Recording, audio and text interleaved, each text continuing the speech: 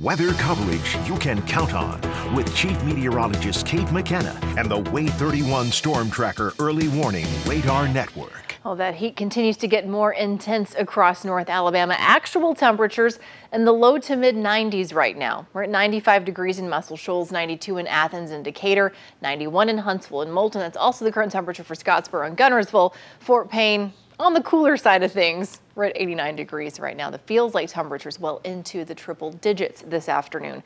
The WAAY 31 Storm Tracker early warning radar network shows a fairly quiet picture if you're west of I-65, farther toward the east. A couple of showers here and there, and one little band of thunderstorms that's begun developing here just now west of Highway 72. It's going to continue tracking eastward between 15 and 20 miles per hour.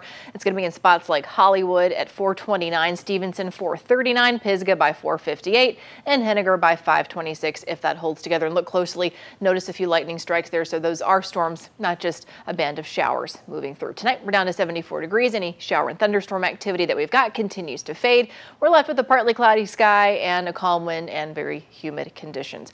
Future radar, as we go through the rest of this evening, we'll stop you here at 930, showing you that any of that shower activity does mainly fade after sunset. We're still in the 80s at this point least for most spots.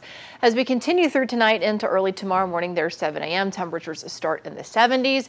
As we get into the afternoon, quickly warming into the 90s by 2 o'clock. We're already in the mid 90s in some spots like the shoals. A couple of spotty showers and storms start developing. And then as we go through the rest of the evening, we'll kind of go through this process again where once we lose daytime heating, we lose that storm coverage. As we get into Thursday, chance for a shower is possible as early as the morning. Slightly better storm chances, though, of course, during the afternoon with a little bit of daytime heating. That's your view stopped at 5 o'clock.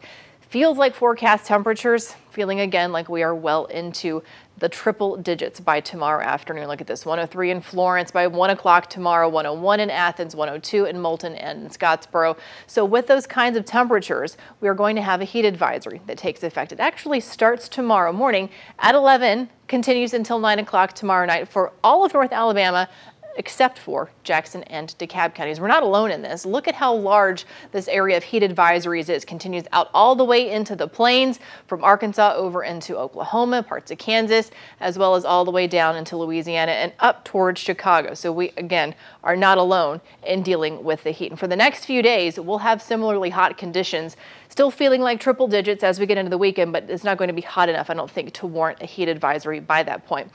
I have another update for you from potential tropical Cyclone 6. This is still not Tropical Storm Fred. We do expect that to happen, though, tonight. That's coming from the National Hurricane Center. At last check, maximum sustained winds at 35 miles per hour. Continues this track off toward the west kind of making a bend towards the northwest here. And depending on its land interaction, that'll help determine just how strong it's able to become. Friday, it's approaching the south coast of Florida, and then it makes that turn a little bit farther toward the north up into the Gulf. Still at this point forecast as a tropical storm, but it certainly does bear watching along the panhandle of Florida, the Big Bend area of Florida as well. Our seven day forecast shows that chance for showers and storms each afternoon. Temperatures still in the lower 90s, overnight lows still mainly in the low to mid 70s. Remember, you can always listen for your forecast Nash Icon 93.3.